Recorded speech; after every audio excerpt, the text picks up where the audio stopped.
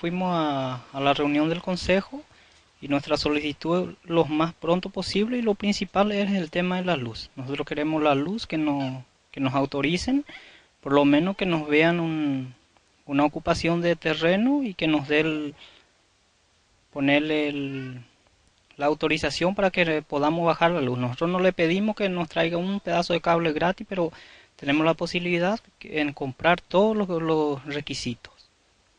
Y nada más lo más pronto posible que queremos es la luz. ¿Ustedes hace cuánto tiempo están viviendo en este terreno?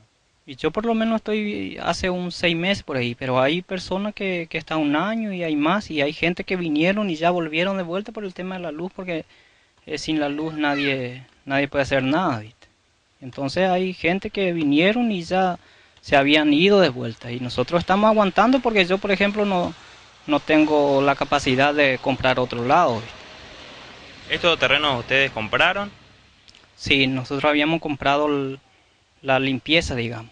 Y los concejales nos, di- nos dijo que es imposible porque es una propiedad, pero nosotros no estamos a cuenta de eso porque está- eh, no, no hicimos todavía las averiguaciones.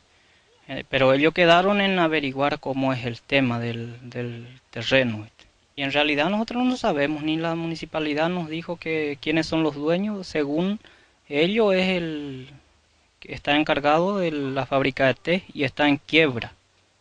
Y no tenemos otro, otra cosa que hacer, ¿viste? Vamos a esperar de ellos a ver si, si se preocupan nosotros y, y de repente eh, nos da la autorización, porque eso es nada más lo que necesitamos.